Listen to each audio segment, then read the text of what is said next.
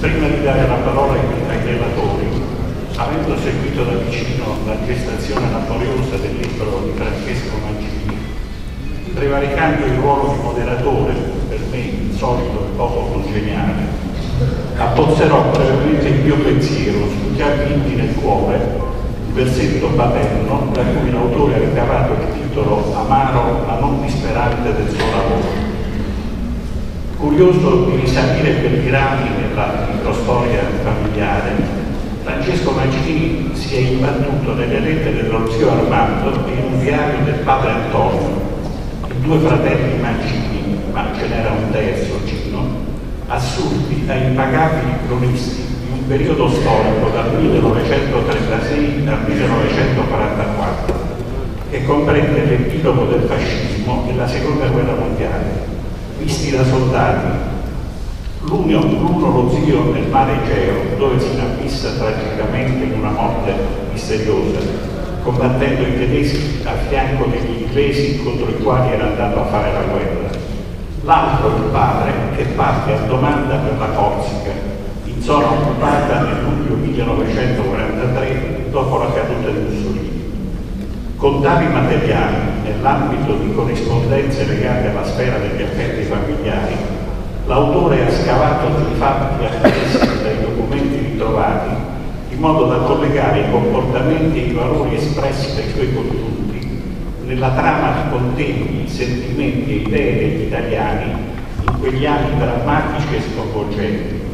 Il libro quindi da un lato delinea la saga di un ceppo familiare diviso tra l'alveo agnotico del paese d'origine, Serra Monacesca ai piedi della Maiella, e lo sradicamento in luoghi lontani, che da uno status di piccoli possidenti di poteri, via via sempre meno redditizi, si trasforma in una, via, una famiglia borghese di professionisti. Dall'altro versante schizza l'affresco di un paese dilaniato e man mano contrapposto in lotte ideologiche con Italie differenti, talora estranee e sino ostili l'una all'altra. I due fratelli, figli di Francesco, è podestà di Serra Monacesca e imprenditore estroso ma non fortunato, vivono negli anni della Grande Depressione del 29 un'adolescenza economicamente difficile, solitaria, maldagia, che li pone dinanzi alla necessità di conciliare studi e lavoro formazione cattolica rivelano subito un interesse profondo per gli studi. Io compresi che lo studio deve avere per noi una grande importanza, scrive Antonio nel. Da autodidatti consapevoli che l'elevazione culturale è un mezzo di riscatto sociale, di lotta per combattere la povertà. La loro formazione, si legge nel libro, è una corsa a ostacoli, una gincana di scuole per corrispondenza corsi regolari, esami da privatista, di campi istituti operai professionali normali. Armando è naturale per educatore, ha la pedagogia nel DNA, a 16 anni è maestro, un anno dopo supera l'esame di storia della filosofia con Guido De Ruggero. Il suo progetto è quello di formare insegnanti per la nazione e per l'impero. A differenza del fratello più grande rimane legato al borgo natio rimpiange il tempo felice di quanto la famiglia conosceva tecniche e agiatezza, aderisce al fascismo con pienezza di convinzioni e la sua costante ideologica non si discosta dai valori tradizionali del nazionalismo cattolico. Antonio non è da meno in quanto a vivacità intellettuale, ma la sua personalità è più forte, improntata a un pragmatismo utile e proteso verso la conoscenza degli uomini e della vita reale non ha nostalgie pasoliniane del passato reale, anzi avverte lucidamente che la civiltà contadina è agonizzante e il futuro di antico solo il cuore. La proximità verso la tecnica lo spinge verso altri studi, a pieni voti conquista la maturità scientifica eccellendo in matematica, insegnerà balistica alla scuola d'artiglieria, ma è anche lettore di romanzi ed è tentato dalla poesia, il libro riporta alcune sue prove diverse. Precoce nel rapporto con il mondo del lavoro, vince una corsa di studio a Chieti, frequenta una scuola per operai ed elettricisti. Le sue lettere sono piene di camere in affitto e abbonamenti a trattorie a prezzo fisso. La condizione di sacrificio e di disagio dei fratelli, descritta dall'autore con sobrio epos, epos familiare, evoca pagine dal Martinelli di London e di una boccata d'ossigeno di Orwell. Mentre la Grande Guerra ha registrato una sterminata letteratura dell'intervento, dell'intervento, il mito della Grande Guerra, cui non si sono sottratti la gran parte degli scrittori, artisti, studiosi che vi hanno partecipato, la seconda guerra mondiale ha proposto e ha prodotto un altro genere di testimonianze di varia natura diari, carteggi, memorie, romanzi autobiografici, saggi, indagini, appunti di prigione, manuali di sopravvivenza. In un'Italia scissa in due parti, ad un tempo amica del nemico e nemica dell'amico, secondo le parole del giurista Salvatore Salta, che in De Profundis, scritto nel suo rifugio nella bassa Milana, analizzò con prudenza la morte della patria, italiani divisi tra l'adesione alla Repubblica Sociale e la fedeltà alla monarchia è esistita di gran lunga più ampia e articolata la cosiddetta zona grigia, espressione usata per la prima volta da Primo Levi in Soppersi e Salvati, di chi ha subito passivamente gli eventi tragici della, della storia, scegliendo il silenzio, l'attentismo, la lontata gara passata, la casa in collina, per usare il titolo di un romanzo di Cesare Pavese che mi descrive la, condizione psicologica di se ne sta da parte. Brutta cosa essere nelle cricche della storia, scrive. O per dirla alla Orwell, la pancia, la pancia della balena, cioè un enorme greco in cui agguantarsi perché nulla di quanto accade all'esterno ti riguarda. Una condizione che non è la morte, è l'irrevocabile e insuperabile stato della irresponsabilità. In un recente libro, Spettatori di naufragio, Raffaele Lucci ha disegnato una impressionante mappa degli intellettuali che di fronte alla tragedia della seconda guerra mondiale osservarono da lontano il naufragio dell'Italia con un brivido di dolore e di compiacimento. Si pensi al grande giurista Piero Tramandei, uno dei padri della Costituzione, che nell'ottobre 43 si rifugiò per nove mesi a Colcello Umbro, in larvato esilio, lontano dalla guerra e dai partigiani, scontrandosi con il figlio Franco che si era arruolato nei gruppi di azione partigiana di Roma. E scriverà il filosofo Giuseppe Renzi nel marzo 45. Alla fine della storia, quando la terra urterà contro una cometa o si spengerà nel cielo, non c'è che il vuoto. E quando arriverà quel vuoto, che senso avrà avuto la storia dell'uomo? Ma nei suoi ultimi anni Calamandrei diventerà il cantore più prolifico della, della resistenza, con testi, discorsi e epigrafi, commemorazioni della lotta partigiana in piazze, teatri e convegni. Forse, come ha scritto Sergio Luzzatto, per un acuto senso di colpa, per non aver a suo tempo saputo presidiarlo davvero, il suo posto di combattente partigiano. La sua vicenda è amata da quella di Enzo Roccella, un giornalista colto e studioso di storia, che nel 43-44, nella Roma occupata dai tedeschi, si sboscò in un convento. Dopo 30 anni scriverà Resistenza in convento, che uscirà postumo nel 99, in cui evocherà la Roma divenuta un posto ideale per autosegregarsi, all'ombra del Vaticano, con i conventi, i colleghi, i seminari in cui si rintanano generali, aristocratici, industriali, docenti universitari, scrittori ebrei e antifascisti di nome, Alcide De Gasperi, Bonomi, Pietro Negri, Saraga, Meuccio Marini, Alessandro Casardi, Marcello Soletti. Forcella aggiunge che quella non era una fuga né una resa d'abilità, perché quei rifugiati ogni volta che uscivano rischiavano l'arresto, la deportazione, la morte, ma fa risaltare ad esempio che l'anticlericale Negri si nascondeva in un convento sotto, sotto abiti talari, mentre tanti anonimi compagni rimanevano in barriere pericolo. Ma furono tanti gli artisti che si dedicarono alla contemplazione del naufragio, da Corrado Alvaro che si nascose a piedi, da Mario Soldati, Leo Longanesi, Gabriele Baldini, e Stefano Mazzina che scelsero guardie grele per mettersi in salvo, a Tommaso che inviato nel suo maniero di politica, al nostro Flaviano, infrattato nella terza saletta del caffè greco a inanellare con Italiano Brancati e Vincenzino Tavarico monti di spirito contro il fascismo, ma che attese la fine del regime mussoliniano per il cava stipale in cui critica il fascismo, come Carlo Emilio Gadda, che soltanto nel 50 scrisse Eros e Priamo, un violento pamphlet contro il Duce che negli anni del fascismo aveva quasi idolatrato.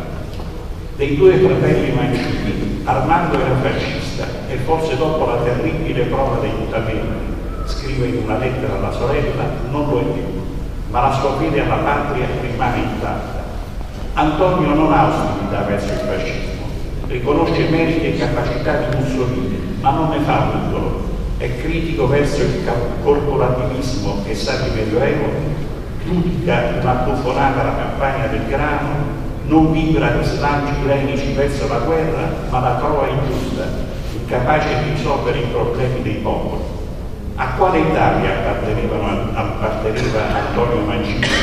Se si prende per valido lo schema delle tre Italie dello storico Gianni Oliva che le divide in quella dei vinti, quella dei vincitori e quella di tutti gli altri, tra l'Italia che andò al Salò, l'altra che scelse la resistenza e quella di mezzo, l'Italia della zona grigia, del disimpegno civile, della diserzione da compiti e responsabilità istituzionalmente richieste all'individuo, in quale catalogare l'Italia di Antonio Mancini, già vinto nel cuore ma civilmente non dimissionario? Una quarta Italia in cui parole come opportunismo, fuga, civismo, apatia e indifferenza non si conoscono e il colore dominante non era il grigio. Testimoni di speranza, così definisce con immagini azzeccate i due fratelli il professor Lorenzo Ornaghi, neo ministro dei beni culturali. E certamente originale è la proposta di Francesco Mancini di rileggere quegli anni difficili per generazioni di italiani fornendo utili istruzioni per l'uso sia per chi ricorda un passato con cui non sono stati fatti i conti e che rimangono aperti con memorie non condivise, sia per giovani che guardano con timore a un futuro poco incoraggiato.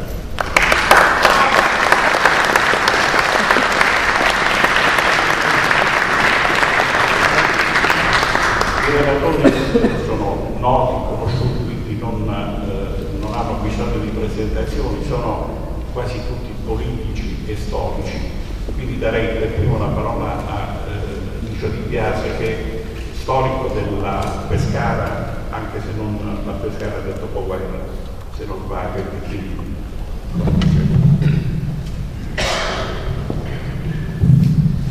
Bene, buonasera a tutti, sono felice di essere questa sera a partecipare a questo incontro sul libro di Becco Mancini per varie ragioni. Innanzitutto, il primo motivo è che l'Istituto Spatale, di cui è presidente Ugo Crescenza, ha organizzato una serie di incontri, eh, questo è il, il secondo, dal tema Leggere l'Abruzzo e 15 giorni fa circa ci siamo proprio confrontati negli anni 70-80, a volte l'onorevole Crescenzi, anche Luciano D'Alfonso che mi fa piacere ritrovare questa sera a riflettere su un personaggio importante per la storia della nostra città.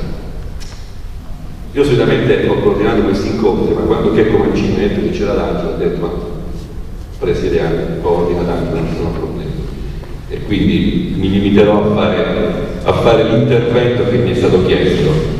Questo libro di Checco Mancini lo ritengo di grande importanza perché al di là del fatto di riportare eh, lettere dei fratelli è sicuramente da stimolo per riflettere sulla situazione del nostro paese durante gli ultimi anni della guerra e soprattutto nel dopoguerra che Comancini ci ha stimolato molto con questo libro.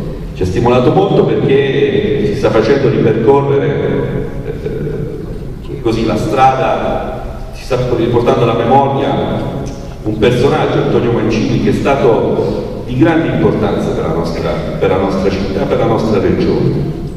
Primo segretario provinciale della democrazia cristiana, nel 1946, il primo sindaco democristiano nel 1956.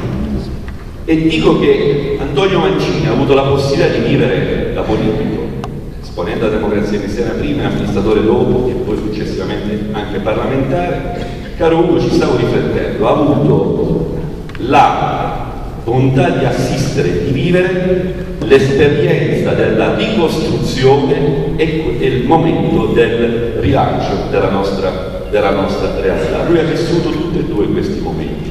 Il primo momento, quello del, della ricostruzione, l'ha vissuto da dirigente di partito, da segretario provinciale della democrazia cristiana e poi, e poi la sua grande azione, l'azione eh, prorompente che ha determinato l'inizio dello sviluppo della Pescara, della Pescara moderna, dopo la ricostruzione. Una Pescara che poi negli anni, 70, negli anni 60 e 70 avrebbe visto in una serie di interventi infrastrutturali il proprio sviluppo, il proprio progresso e quelle infrastrutture di cui abbiamo parlato ricordo con Luciano proprio 15 giorni fa, abbiamo parlato 15 giorni fa all'incontro cui è intervenuto anche l'onorevole Giuseppe Quieti, che non parlava in pubblico di politica da 18 anni, se non ricordo male.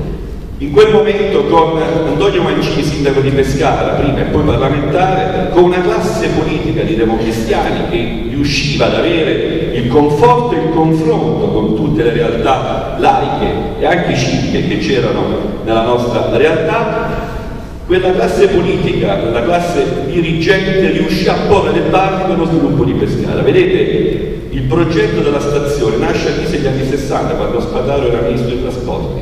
Erano gli anni in cui c'erano poi anche altri sindaci democristiani, poi ci fu il sindaco Mariano, proprio Gabriele, figlio che saluto. Cioè, ci fu tutta una classe politica di dirigenti, una classe di dirigenti della politica locale, di democristiani, come ho detto prima, ma anche di laici che riuscivano a porre le basi per lo sviluppo. Perché leggere queste pagine della politica del passato? Perché noi, e lo vogliamo sottolineare, c'è una grande differenza sul modo di concepire la scelta, perché il problema è la scelta, la concretizzazione poi della scelta. La scelta nella cosiddetta Prima Repubblica e la scelta in questo ventennio. Stiamo facendo queste riflessioni proprio per questo motivo. Vedete, nella cosiddetta Prima Repubblica la scelta era un momento mediato tra le esigenze del territorio e una classe politica che riusciva a leggere il territorio, riusciva a capire le esigenze del territorio e poi aveva, questa classe politica aveva la capacità di trasformare quelle scelte in opere concrete. Vedete, proviamo a pensare tra gli anni 60, 70 fino agli anni 80 le cose fatte e realizzate in questa regione e pensiamo a questo ventennio la politica, della, la politica infrastrutturale viaria, autostrade, circonvallazioni, le università, la grande sfida, la grande sfida delle università, che è stata una grande, una grande battaglia voluta proprio da alcuni esponenti della democrazia cristiana. E poi l'aeroporto, il porto turistico, l'ospedale, tutte infrastrutture che hanno determinato nel bene e nel male, perché poi chiaramente qualcuno avrà da ridire sull'intervento impattante dell'asse attrezzato, non lo metto in dubbio, con, essendo di voi chiaramente si possono fare tante, tante riflessioni e tanti ragionamenti, però c'era una classe politica che produceva idee, compiva scelte ed era in grado di realizzare e concretizzare queste, queste, queste, queste scelte. Proviamo ad immaginare una regione senza questi interventi. Ecco, siamo alla regione di questi ultimi 20 anni. Proviamo a pensare in questi ultimi 20 anni quale infrastruttura è stata realizzata nella città di Pescara. Una infrastruttura che abbia magari la possibilità di determinare uno sviluppo, una crescita, un movimento. Non vedo questa, questa capacità. Allora il discorso qual è? Ma quei partiti della Prima Repubblica erano veramente dei soggetti da gettare così velocemente dopo la svolta del 93 o forse questo sistema elettorale che ha determinato questo sistema politico è da rivedere perché evidentemente determina una classe dirigente di tante individualità? Ecco noi oggi abbiamo nelle istituzioni tante individualità Ecco, questo è il dramma, è il problema. E queste individualità non sono in grado di leggere il territorio, i bisogni necessari del territorio, e non sono in grado, anche se avessero, come dire, le idee, non sono in grado di determinare queste scelte poi in opere complete. Ecco perché è importante leggere, leggere queste pagine della storia, come diceva giustamente D'Angelo, io mi sto adesso, eh, come dire, orientando nella lettura del Novecento della nostra città, o meglio, con la, la ricostruzione della storia sono giunto fino all'inizio degli anni 30.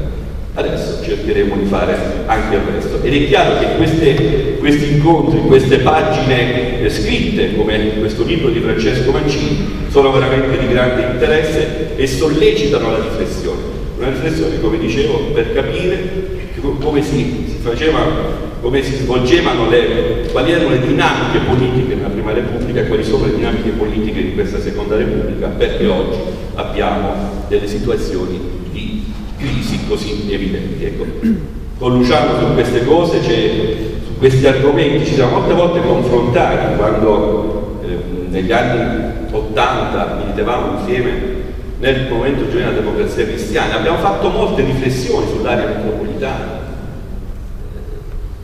Mi ricordo un incontro, eh, forse il 79, eh, i primi anni 80, qualche anno dopo la morte, la morte di Aldo Moro, un convegno al Volto Santo di Manopello con Giovanni Galloni, un convegno di una importanza incredibile perché parlando di Aldo Moro, che era morto, era stato ucciso da due o tre anni, adesso non mi ricordo l'anno esatto, l'anno preciso, adesso 82 non ricordo. E però fu un incontro, c'era anche Ugo Crescenzi, fu un incontro di grandissimo spessore, l'occasione per parlare in quel contesto non tanto di questi argomenti, non gli argomenti che riguardano la politica del territorio, la gestione, l'intervento, ma grande, i grandi temi della politica. Aldo Moro molto attento e sensibile al superamento di barriere a volte eccessivamente rigide, barriere ideologiche a volte eccessivamente rigide, che poi determinano il non governo. Questo è importante e forse il governo che sta maturando oggi per noi può essere, che, sta operando oggi, può essere sicuramente un, un elemento di lettura dell'esigenza di superare questi, queste situazioni di irrigidimento ideologico. Io vado oltre, mi fermo qui perché sono anche altri amici che devono parlare, però voglio sottolineare e voglio ringraziare Checco Mancini che ci ha offerto l'opportunità attraverso questo libro di rileggere veramente pagine di storia molto importanti. Voglio anche sottolineare un altro aspetto. Eh, qualche mese fa come Presidente del Consiglio ho avuto modo di presentare questo libro, però diciamo con un taglio più di carattere istituzionale. Questa sera invece diamo, come, come deve essere, un taglio più politico. Grazie.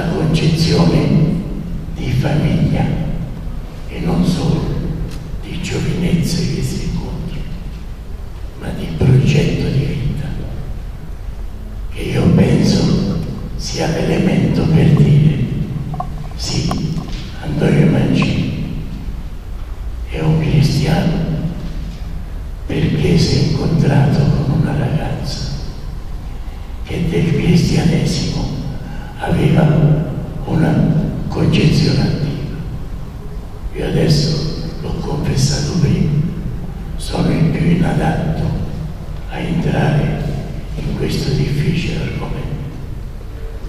Però ricordo un insegnamento basilare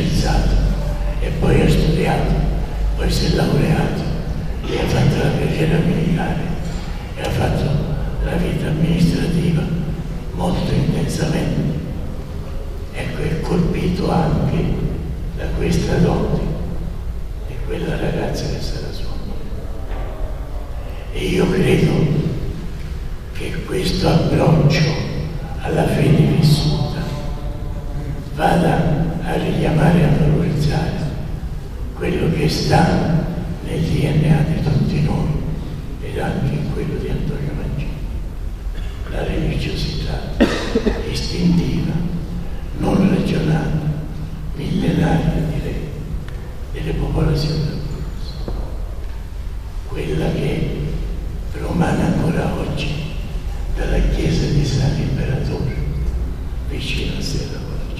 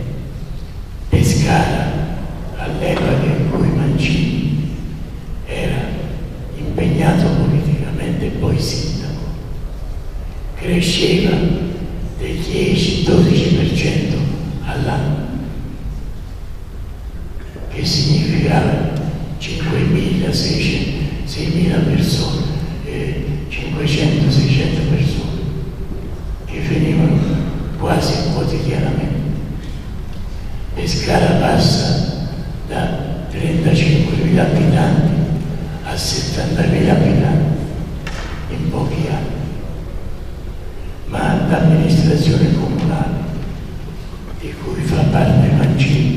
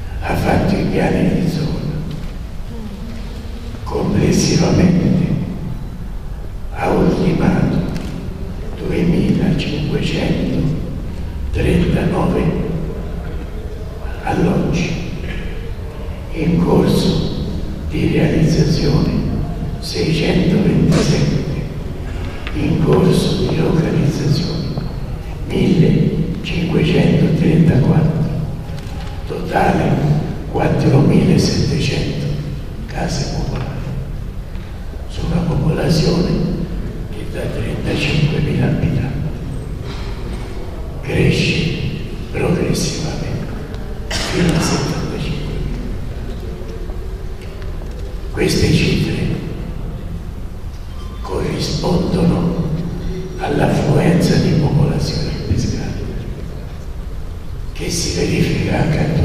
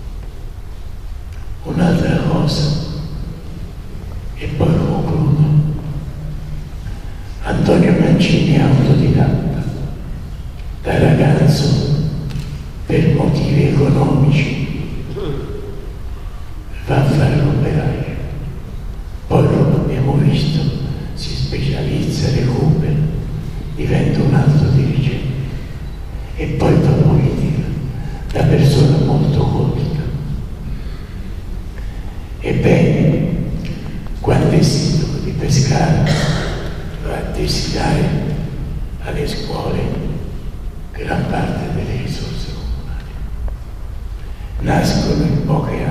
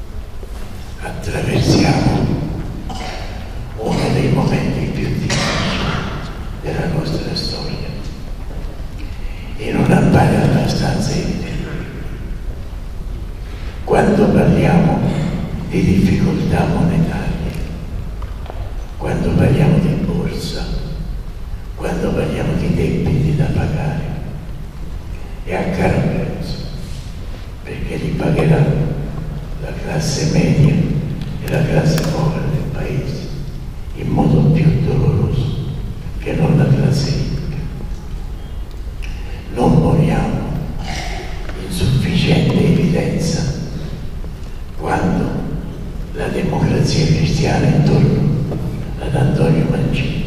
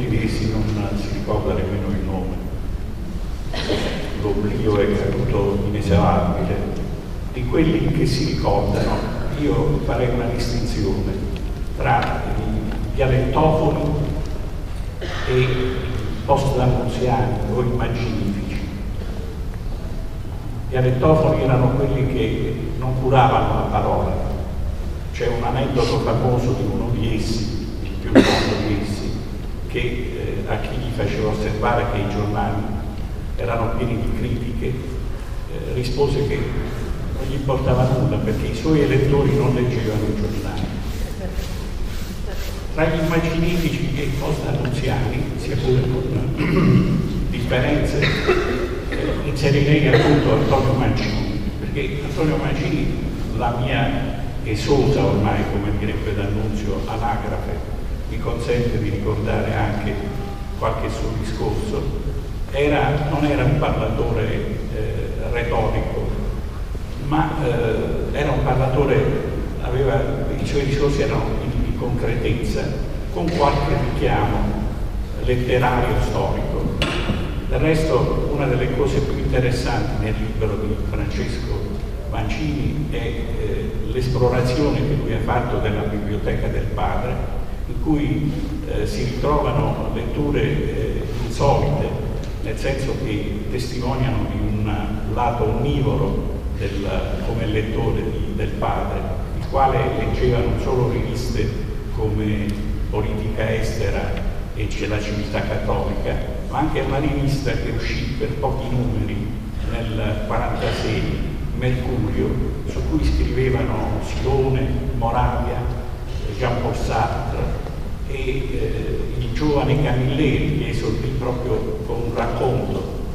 Eh, non solo, ma si, ci sono anche, c'è un opuscolo di, del catto comunista per antonomasia Franco Rodano, anche se eh, Antonio Mancini non fu sedotto dalla sirena di Trevini. E c'è anche un, uh, volume che risale al 43 che parla della democrazia cristiana e i lavoratori che può testimoniare quasi una, un suo avvicinamento al, al partito democristiano. Un altro immaginifico è eh, Luciano D'Alfonso, che, eh, il quale amore della parola, una parola a volte critica, quasi una neolingua alla 1984, ma essendo lui un, ormai un, un esperto di, di, culture e civiltà adriatiche, eh, io direi che eh, questa sua lingua abbastanza screziata eh, gli consente eh, qualche diciamo, amore estetizzante che eh, in tempi in cui eh, sembra che i politici parlino la stessa lingua eh, non guasta. Vi passo la parola.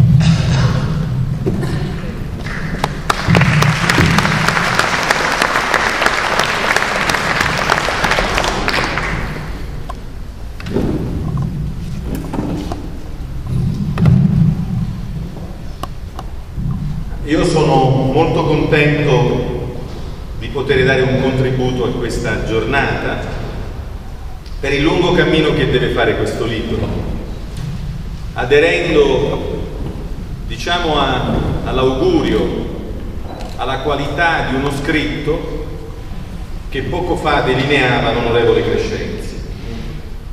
La fatica per uno scritto non è nel mettere in campo lo scritto, ma nel fare in modo che venga riscontrato, quasi riprodotto, dalla collettività.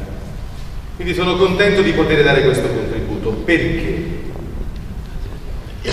Perché parliamo di uno scritto che consente molta parte di quello che serve all'attuale, diciamo, democrazia territoriale della Puglia.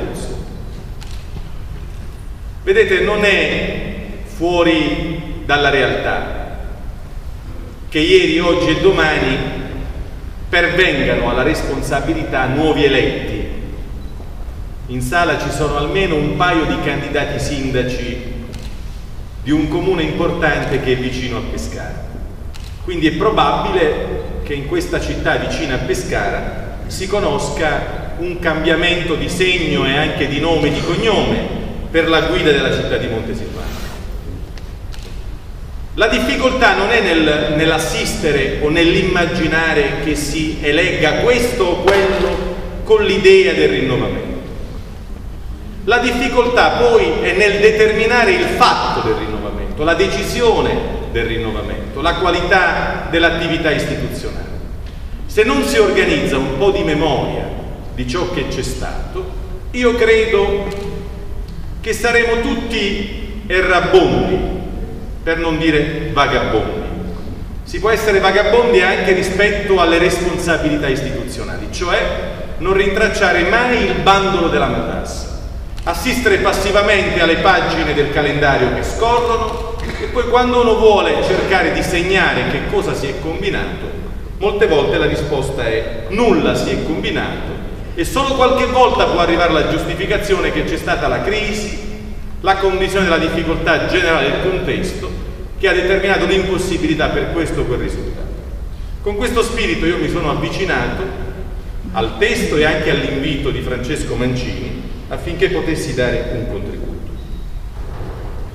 Io credo che Antonio Mancini, se ci fosse presente chi ha curato l'introduzione di questo testo, Lorenzo Ornaghi, Ornaghi, oggi il ministro Ornaghi, ieri e per sempre l'ordinario di scienza della politica di Milano, direbbe che Antonio Mancini è un amministratore moderno. dove però, caro Giacomo, per moderno non si intende la frequentazione a questo o a quel ristorante alla moda della città di Pescara, perché ci è capitato anche di avere un pezzo di classe dirigente tutto all'insegna di questo tipo di modernismo, della frequentazione di alcuni locali. Moderno nel caso di Antonio Mancini significherebbe quello che diceva Ornaghi a lezione. Che cos'è la modernità? chiedeva lui. E rispondeva e faceva rispondere agli studenti. È moderno ciò che funziona. Chi si fa carico della modernità si fa carico della funzionalità di un sistema. Mancini dunque è definibile amministratore moderno perché si è posta la domanda della funzionalità del territorio che a lui interessava e che lo riguardava. In questi giorni si fa un grande consumo di inchiostro su uno dei più importanti giornali letti a livello nazionale, Repubblica. E ogni tanto sugli articoli di spalla di questo giornale, quelli anche letti da coloro i quali sono complicati, scrivono alcuni intellettuali tipo Boeri, il quale cerca di insegnarci e cerca di educarci sul fronte di alcune coppie tematiche valoriali. Dice Boeri, scrive Boeri, molte volte la società evolve attraverso la cura delle relazioni e lui punta a demolire il valore della relazione perché la relazione non sempre coltiva il merito. Il contrario dell'elemento valoriale tematico della relazione è la regola. È la regola rispettata che produce il merito e il merito consente la progressione giusta della società. Io sono d'accordo su tutti e due i corni del problema. Ne aggiungo uno di corni al problema. Che accanto alla regola e alla relazione una società evolve quando c'è motivazione e io oggi sto conducendo anche una interlocuzione dialettica con qualcuno che è presente in sala, che io ho in simpatia sul piano della sua attrezzatura culturale, perché voglio dire ad alta voce, cogliendo questa circostanza, che le società evolvono quando ci sono motivazioni. Antonio Mancini era una persona molto riguardata dalla motivazione. E perché c'era questa motivazione? A me piacerebbe tanto che qualche studioso si occupasse di riscrivere anche la storia di questa regione, a partire dal dove si sono determinate le motivazioni. Ci sarà una ragione per cui Silvio Spaventa è di Bomba, De Vincenzi è di Notaresco, eh, l'altro bravo, Panfilo Gentile di Castelvieri, non voglio arrivare a citare Gaspari di Bomba, ma Antonio Mancini di Serramona Cesca. Sì, ci sarà una ragione per cui in queste piccole realtà poi si è scatenata una grande voglia di organizzazione della parità delle opportunità anche tra i territori. Mi piacerebbe molto dirvi di Angeloni, che di sicuro qualcuno dei presenti ha avuto modo di incrociare leggendo la storia di questa regione, è quello al quale si deve molta parte delle ferrovie della regione un parlamentare della piccola provincia, della provincia dell'Aquila, non della grande città dell'Aquila. Perché io dico motivazione quando parlo dell'onorevole Mancini? L'esperienza della guerra, l'esperienza di quella guerra ha lasciato un segno straordinariamente, direbbe Montanelli, negativo e positivo nella vicenda di quella persona. Montanelli ci ha lasciato detto che ogni popolo ha bisogno ogni tanto tempo di conoscere l'esperienza del dolore. Quasi che dal dolore poi si riorganizzano le ragioni per la ripresa. Mancini di sicuro, sia Mancini Antonio, che a me piace qui contribuire a descrivere, che il fratello Mancini, l'altro che non ho potuto conoscere come invece ritengo di aver conosciuto anche per la raccolta delle opinioni di tante persone che lo hanno frequentato, tipo mio padre, ma anche tanti amici di partito che sono presenti in sala, ai quali non ho mai fatto mancare le mie curiosità su questa straordinaria persona di cui voglio dire qualcosa in più rispetto a quello che è stato detto fino adesso. Vedete, la guerra, una guerra che come ha detto Ornaghi si sapeva che si concludeva così, al di là diciamo dell'epopea dei rumori e delle feste, di qualche luogo del nostro sistema paese, ma si sapeva che non poteva che concludersi così. E si scrive nel libro, in questa memoria che fa Francesco Mancini, qual è stato l'atteggiamento anche psicologico di Antonio Mancini, anche quando tutto era finito sul piano militare e lui assumeva a sé l'onere di fare qualcos'altro in più. Tant'è che poi si scatena tutto l'impegno sociale, l'impegno anche lavorativo e le sue grandi riflessioni.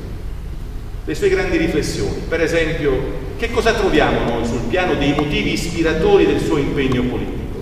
Quella straordinaria coppia tematica della sua motivazione di concordia e concretezza, usava dire, e lo dice in una bellissima giornata congressuale tematica che si fa nel 1966 a Villa Immacolata. Il libro non fotografa questo luogo e neanche alcuni appunti correlati. Quel convegno si tenne a Villa Immacolata per iniziativa di Ugo Crescenzi. Parlò da segretario dei giovani DC Tino Di Sipio. L'ospite d'eccezione era della Porta. L'argomento era il lancio della, nuova, della regione, non della nuova regione sarebbe stata nuova per quanto riguardava la configurazione territoriale, economica, ma si trattava di insediarlo il sistema regione. E c'era Piccoli come ospite di eccezione.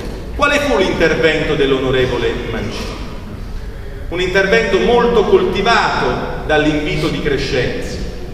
Mancini ragionò in ordine alle necessità di quella regione che doveva compiere i primi passi a proposito di tre grandi emergenze. L'emergenza infrastrutturale, l'emergenza universitaria e l'emergenza della industrializzazione. Ognuna di queste emergenze era accompagnata da una straordinaria descrizione di temi che motivavano sul perché quelle erano le, le priorità, erano le necessità. Insomma, la politica che mette in campo lui è una politica nutrita straordinariamente dalla contezza delle priorità.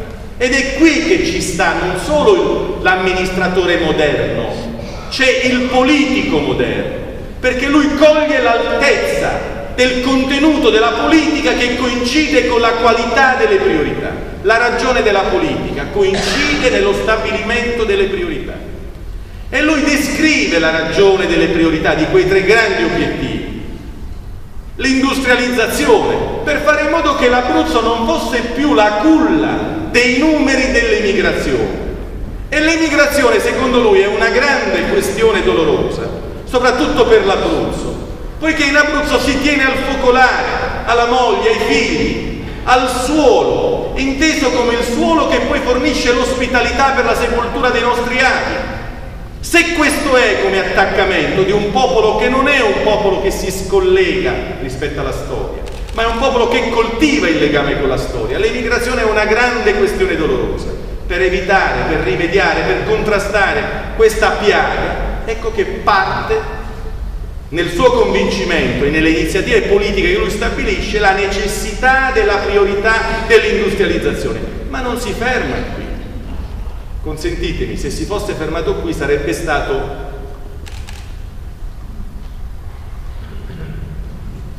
il congiungimento tra Falconio e quel bravo amministratore di Sulmona che si chiama Bolino, bravissimo.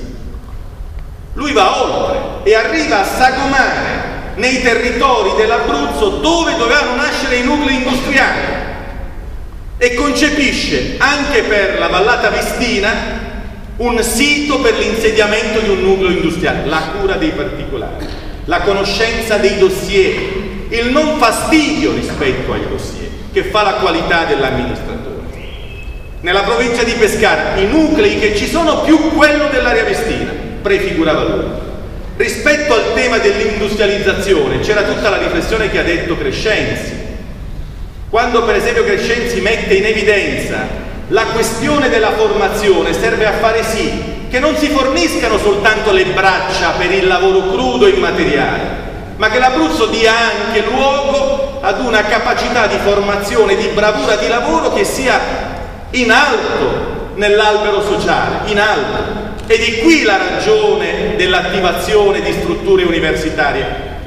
Mettiamo anche in evidenza la contrapposizione che ci fu in quegli anni rispetto all'insediamento delle nostre università abruzzesi, perché si affermava che in Abruzzo l'autonomia universitaria sarebbe stata la produzione di semi-analfabeti o di semi-laureati, non c'era una comunità di visione convergente sul tema dell'università da stabilire ed insediare.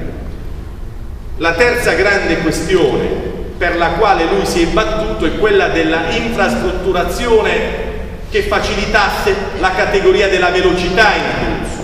I fatti devono accadere velocemente, da quelli economici a quelli delle persone, facciamo in modo che l'Abruzzo venga riguardato dalle autostrade, dall'infrastruttura ferroviaria, dall'infrastruttura portuale. Lui pone già da allora il tema dei 500.000 delle 500.000 tonnellate di funzionalità del porto di Pescara per avere a cascata tutte le misure nazionali di manutenzione e di gestione della nostra portualità. Vedete la cura dei particolari documentali, quella cura dei particolari documentali che fa dire per esempio ad uno come Andreatta che la terra nella quale lui si impegnava politicamente era migliore delle altre perché lì si coltivavano i dati, i dati numerici grazie ai quali si faceva anche la valutazione degli effetti delle politiche. E Mancini è questo. Fa un comizio straordinario nel 1958 a Pescara, credo che fosse maggio del 58, in cui il comizio non è una dichiarazione di guerra agli avversari. Questo lo dico ai giovani che si accingono a stabilire una impegnativa campagna elettorale in questa città vicina che a noi sta a cuore che è Montesilvano. Non era una sagra di cattiveria nei confronti degli avversari. Il suo comizio era una dichiarazione programmatica contro i problemi della città, a favore della vita collettiva della città di Pescara. Ed erano presenti politici di primo piano della città, ai quali spalmava impegni dicendo che le elezioni non servono per fare liste. Le elezioni sono formidabili occasioni per assumere impegni e mantenerli. E lui dialogava col popolo di Pescara, al quale configurava un'esistenza quasi hegeliana. Tu, popolo di Pescara, fa da garante rispetto a questi impegni che io e i parlamentari eletti assumiamo a tua difesa per le tue ragioni. Straordinario quel modo di argomentare rendeva rintracciabile gli obiettivi degli impegni, anche delle promesse, perché non è vero che la politica di qualità o segnata dalla moralità è lontana dalle promesse. Fatto quello? La politica di qualità è animata, è nutrita dagli impegni che si assumono e che si mantengono. E lui, in questo formidabile comizio del 58, elenca la grande conquista dell'acqua per pescare perché lui ha ereditato una città tutta in costruzione, nella quale c'era anche l'emergenza dell'acqua. Dopo il tema dell'acqua, la copertura dei fossi Bardet, mi viene quasi da sorridere perché l'assessore Mancini, figlio dell'onorevole Mancini, è stato mio assessore in giunta e mi ricordo, oggi ho capito perché aveva tutta quella attenzione per i fossi Bardet, perché era il portato di quella straordinaria stagione che vennero coperti in quegli anni così come tutti gli edifici scolastici, il primo palazzo di giustizia, il consorzio ortofrutticolo, le prime cure e premure per il dossier dell'autostrada. E guardate, mi verrebbe quasi da dire, ma lo dovrò dire in un'altra aula, quindi qui non lo posso dire, però mi sono alimentato con una cosa che ho capito con la lettura di questo testo e degli elementi connessi. L'onorevole Mancini da sindaco di Pescara si fa carico di condurre una battaglia, prima da solo e poi con altri, per fare in modo che l'Abruzzo e quindi anche Pescara si avvalesse, l'Abruzzo e con Pescara si avvalessero, della funzionalità di un sistema autostradale. Da presidente di un comitato spontaneo di amministrazioni locali curò tutta la trattativa con l'ANAS e con le altre articolazioni istituzionali. Naturalmente fu una battaglia che venne portata avanti a più mani, a più occhi, più pollici, ma lui da sindaco non fece mancare il suo protagonismo, nonostante che sulla lettera il sindaco di Pescara nulla ci potesse entrare nella pratica del dossier autostradale. Per dire come assumeva l'iniziativa, io mi ricordo una bellissima espressione dell'onorevole Moro, quando un giovane gli chiedeva a Benevento, ma insomma, il politico chi è? Lui rispose, secondo me, con la più bella delle risposte possibili, proprio che esauriscono la portata tematica della domanda. Chi è il politico? Un iniziatore di iniziativa. Uno che inizia, la concepisce, la inizia l'iniziativa e la porta anche a termine fino a determinare poi l'esplosività di un'opportunità. E sul tema autostradale lui non si, è, non si colloca secondo a nessuno. Nella battaglia con D'Angelo Sante, per esempio, che aveva un'altra idea di sedime autostradale, lui sta lì a cercare di aiutare il presidente della provincia affinché capisse che quello era il sedime più giusto. La risposta non è di mia competenza, la dà il segretario generale, la dà il dirigente, non la dà il sindaco di una città che ha voglia di mettere le ali alla sua città. Se fosse stato questo l'elemento della cifra dell'attività decisionale di Mancini, l'avrebbe fatto anche il direttore della stampa, le funzioni proprie del comune, del vertice del comune di Pescara. Tutta la partita riguardante per esempio la sistemazione ferroviaria di Pescara evoca, richiede, convoca il potere della città di Pescara, ma non limitantesi in questa torre campanaria. Convoca ed evoca la capacità rappresentativa politica di tutta la comunità, tant'è che lui andava financo a parlare col direttore della Banca d'Italia per fare circuito, per fare qualità della rappresentanza politica.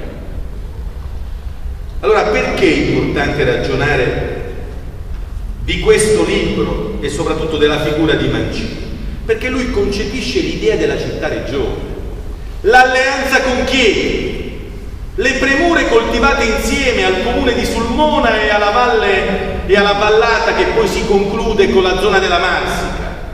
Tre poli di ausilio per le sue grandi battaglie, il comune di Chieti, Sulmona e la Marsica, per incassare le grandi battaglie che riguardavano Pescara. Ma non solo quella della sede della regione Abruzzo, che allora era una battaglia simbolica, soprattutto l'attestazione di città dei servizi per tutta la regione, questa attestazione che stava scritta nella storia vocazionale di questa città, la logica di procedere insieme, con la concordia, quei valori anche espressivi sul piano del suo intervento al convegno del 66, quando lui dice che le categorie della programmazione economica dovevano seguire i binari della concordia e della concretezza, della convergenza e della concretezza, gli hanno permesso di produrre 5 anni di decisioni che hanno avuto il valore di 20 anni di decisione, perché in quegli anni lì si è prodotto un sistema di accomodamenti, di potenziamento, di aggiustamento che ha la falcata dei 20 anni. Vedete, e mi avvio alla conclusione di questo mio accalorato intervento, perché ritengo che dovrebbero tutti, tutti quelli che vogliono occuparsi di cosa pubblica, indagare e sindacare qual è stata questa straordinaria esperienza che noi abbiamo alle spalle nell'attività decisionale. Ci sono state stagioni formidabili alla regione Abruzzo, stagioni formidabili alla guida di questo comune, io vado sostenendo da tempo, caro Ugo, salvo qualche sforzo particolare che è stato segnato per esempio anche da un contributo culturale di una realtà associativa che ti vedeva impegnato, non mi ricordo come si chiama, ma so che in un periodo tu, Mattucci e qualche altra persona di buona volontà vi siete messi a capo di una iniziativa che si poneva il tema di rianimare la forza decisionale della regione Abruzzo. Io pongo un problema alla comunità abruzzese cogliendo questa occasione, che l'Abruzzo non ha mai potuto contare con adeguata lunghezza temporale di una stagione adeguata di regionalismo. Il regionalismo che si è conosciuto per esempio in Lombardia, prima con Bassetti, e poi con i primi due mandati di Formigoni. Il regionalismo che si è conosciuto in tutta quella formidabile realtà territoriale che è l'Emilia, la Toscana, le Marche, anche se aggiungo che in quelle terre era abbastanza facile organizzare un'attività di decisione di qualità, quasi perché il Signore le ha fatte più forti, più resistenti, meglio dotate e strutturate. Il regionalismo, come cerco adesso di delinearlo, come atteggiamento della cultura politica di una comunità che coglie tutti i poteri di un assetto, tutte le risorse normative di un assetto e le utilizza fino in fondo.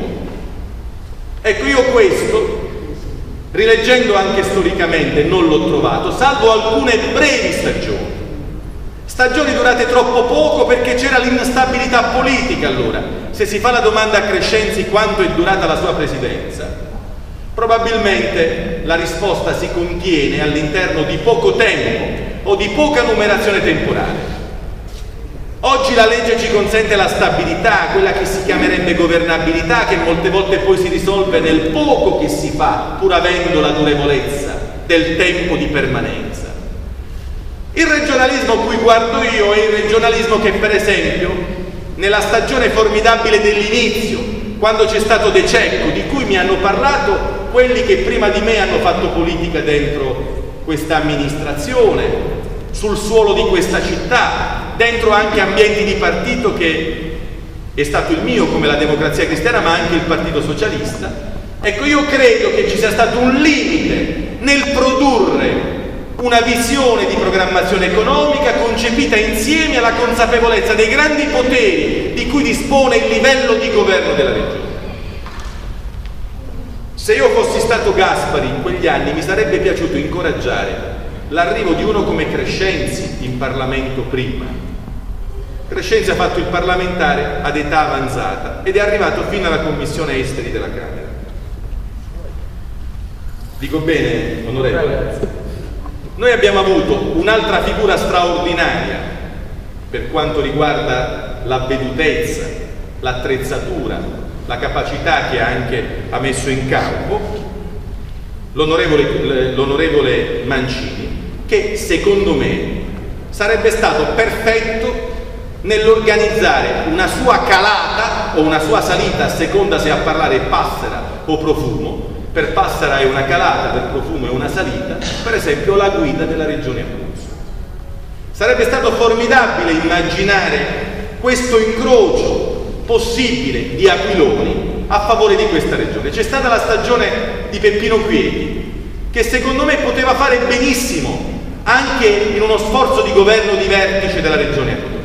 Però altrove in Abruzzo si è stabilito che le sorti di queste risorse personali seguissero altri camminamenti. Io mi sono sempre posto il tema del perché non si sono allineate bravure e assunzioni di responsabilità istituzionali secondo anche le caratteristiche individuali.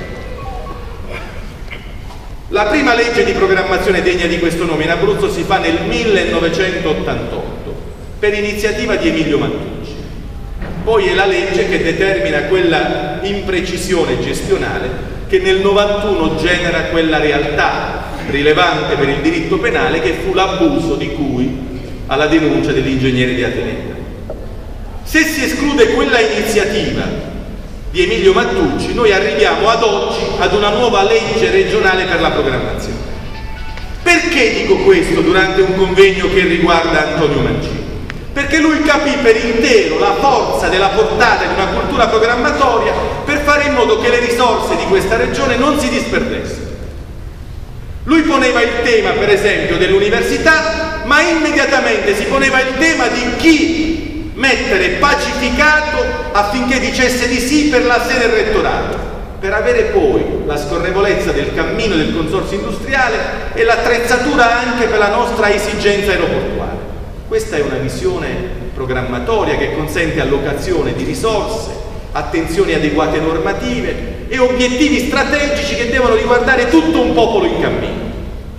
Io la leggo così, questa bella avventura personale e politica, che si è conclusa per ragioni legate alla politica, perché poi, come dice e scrive il solito Ornani, la politica è fatta dalla città che è la polis, ma anche dalla guerra che è polemos. La politica è fatta sia dalla cura per la città, ma anche dalla guerra delle persone che hanno un'altra idea di difesa dei confini della città. Probabilmente Mancini poi ha dovuto lasciare il passo perché le vicende classiche della lotta politica hanno determinato il suo superamento. Quello che è certo è che non può essere considerata superata la sua straordinaria testimonianza di valore nell'esercizio dell'attività decisionale. Lo dico ai giovani presenti, a quelli che vogliono fare politica domani e dopodomani. Io non credo che oggi ci sia un'abbondanza di riferimento per quanto riguarda la contezza di ciò che serve. Se fosse così, non avremmo perso due anni all'Aquila per togliere le macerie. Se fosse così, non avremmo perso due anni all'Aquila per avere una legge straordinaria per il trattamento di una vicenda straordinaria qual è stata il terremoto all'Aquila. Guardate, l'onorevole Romano Prodi ha insediato un portavoce della presidenza di Bruxelles che è il figlio di un bravo sindaco di un comunello dell'Aquilano. Io un giorno ho incontrato il portavoce di Barroso, che è questo ragazzo figlio di un sindaco dell'Aquilano, gli ho detto, ma che si dice a Bruxelles di questa vicenda abruzzese? Che andava posta per prima la questione dell'adeguamento degli strumenti straordinari per aiutare la ripresa dell'Aquila. All'Aquila c'è stato un difetto di rappresentanza politica complessiva, nonostante la ginnastica che c'è stata dell'arrivo di politici di livello internazionale e nazionale. Ma si è sbagliata la misura della premura. Quando ci voleva quella cosa in più non c'è stata, non c'è stata per la nettezza della mancanza della richiesta. Noi potevamo probabilmente richiedere anche per allora un reinserimento in una zona giuridica delle politiche europee che assomigliasse all'obiettivo 1. Questo sarebbe stato possibile se ci fosse stata una visione unificante, convergente. Se ci fosse stata l'idea della politica come ce l'aveva lui, che significava per ogni battaglia di valore che io vi aiuto a cogliere, incomodare scomodare tutti quelli che fanno parte della filiera della democrazia. Ogni volta per lui era un appello a parlamentari, ministri, sottosegretari. Non una volta si trovano testi che richiamano il coinvolgimento di Gaspari e Spatà insieme e dei parlamentari anche delle altre province questo sforzo di convergenza è la qualità della rappresentanza, quella che secondo me è mancata per dichiarare guerra al problema dell'acqua, quella che è mancata anche per fare in modo che il porto di Pescara non conoscesse tutte queste ferite.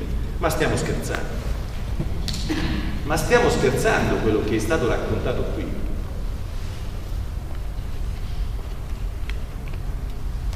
La qualificazione giuridica di un cascame da terremoto è una qualificazione giuridica che dà un atto normativo. E dove sta il problema per dequalificare la complessità di quella procedura? Rimuovere le macerie richiede un certo tipo di procedura, cioè una qualificazione giuridica di quella procedura. Ci sono stati due anni formidabili nei quali l'Aquila qualsiasi cosa chiedeva gli veniva dato, a condizione però che si poteva chiedere con nettezza con consapevolezza e senza inutili rumorosità, senza la tossicodipendenza della dipendenza dall'alto. Dalle pagine dell'onorevole Mancini, ma mica emerge l'ossequio rispetto ai livelli ulteriori che stavano in alto, emerge la competizione, il dialogo competitivo si chiama. Questo non significa irriguardosità nel legame politico, nel vincolo politico. Oh, guardate che questa è la vicenda della democrazia, è la vicenda della rappresentanza politica. Io poiché so quanto problema crea questa emergenza, quanto dolore sta spalmando, organizzo nella maniera più forte possibile la rappresentanza. E questa è la ragione per cui i cittadini cedono quote di sovranità e delegano alcuni a fare, a realizzare. Ecco perché io mi permetto di dire è molto di più quello che stiamo facendo di un riguardo ad un cognome che è trascorso. È molto di più del riguardo alla famiglia Mancini che ha la stessa meritorietà del padre io penso che sia, si direbbe in sociologia, una istituzione. La sottolineatura del valore di questa esperienza è una istituzione, è un'infrastruttura perché si tratta di riprecisare come si fa cosa. E concludo, la differenza rispetto al periodo di Crescenzi presidente, di De Cecco presidente, anche di Mattucci presidente, col tempo che viviamo, è che oggi c'è un'abbondanza di strumenti normativi che fa impressione. Si sono ristrette le risorse finanziarie, ma sono smisurate le risorse normative, le quali per essere utilizzate hanno bisogno di idee e di motivazione Non è vero che il trono conseguito è di per sé un risultato. Il trono è una funzione, è l'idea della funzione che è venuta meno, della funzione. Io non la voglio colorare come farebbe Tito Boemi. È venuta meno l'idea della funzione della rappresentanza. Molte cartelle sono vuote, i programmi li fanno le tipografie. C'è bisogno di avere avvedutezza e contezza di ciò che manca. La realtà è come se fosse piena di buchi e c'è bisogno di riempire quei buchi per organizzare i diritti. Per fare in modo che però questo accada c'è bisogno di qualità della rappresentanza politica e poi si genera la qualità della decisione. Mancini questo ce lo ha dato non da solo, aiutato da un grande gruppo di persone che erano innanzitutto quelli che lo hanno conosciuto da subito. Io, e concludo, ho avuto un amico di Letto Monoppello che faceva il muratore, Nicolino Di Paolo, che mi ha sempre parlato dell'onorevole Mancini, tant'è che mi sembrava sempre che stesse dietro l'angolo a letto Monoppello. Poi dicevo, ma quando è che me lo fate conoscere? Poi mi hanno detto che non c'era più, insomma, che purtroppo era stato richiamato al Signore. Con queste parole ho voluto portare rispetto anche ai tanti che mi hanno parlato di Mancini.